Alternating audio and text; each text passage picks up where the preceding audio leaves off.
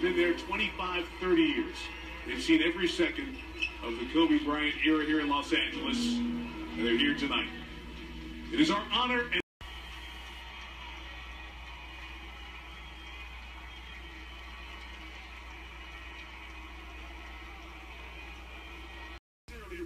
No words can describe how I feel about you guys.